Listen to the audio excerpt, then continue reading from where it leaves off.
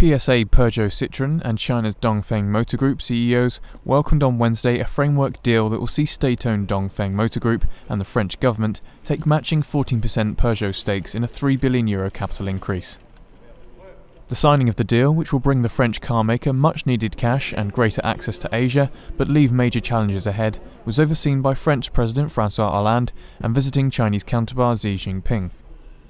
New Peugeot CEO Carlos Tavares must now turn around unprofitable European operations, halt persistent Latin American losses, deliver on China plans that many consider ambitious, and treat a Russian headache that may be about to worsen. The tie-up allows Peugeot and Dongfeng to extend their existing Chinese joint venture to co-develop vehicles, ramp up production to grab a bigger share of the world's largest auto market, and export their cars around Asia. Robert Peugeot, who heads the family holding company, welcomed the deal, saying the family business would remain active in the group. With losses mounting almost everywhere else, Peugeot has high hopes for China, pledging a near trebling of sales with Dongfeng to 1.5 million vehicles in 2020.